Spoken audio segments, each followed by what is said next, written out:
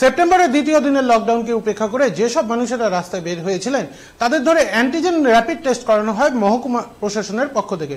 সদর মহকুমা শাসকের উপস্থিতিতে শহরের বিভিন্ন প্রান্তে এই টেস্ট করানো হয় এদিন। তাতেই লকডাউনে ভালো সাড়া পড়েছে কোচবিহার সদরে।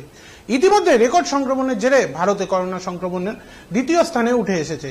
গতকালের মতো আজও রেকর্ড সংক্রমণ হয়েছে ভারতে। গত চব্বিশ ঘন্টায় সংক্রমিত হয়ে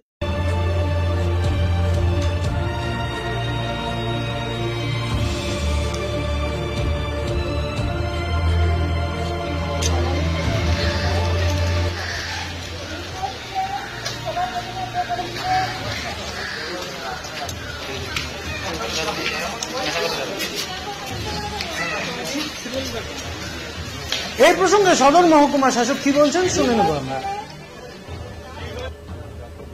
যারা বাইরে আছে রাস্তায় বেরিয়েছে তাদেরকে আমরা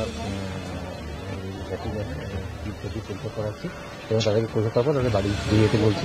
আজকে দেখতে পাচ্ছেন যে আগের তুলনায় তুলনায় অনেক লোকজন কম খুব সামান্য লোকই আছে যারাই বেরিয়েছে তাদেরকে আমরা টেস্ট করাচ্ছি এবং টেস্ট করে বাড়ি দিয়ে দিচ্ছি মানে কতটা লোকের মধ্যে এই সেই সচেতনতা তৈরি হয়েছে? আগের তুলনায় দিনের তুলনায় আজকে অনেকটা কম আপনারা দেখতেই পাচ্ছেন।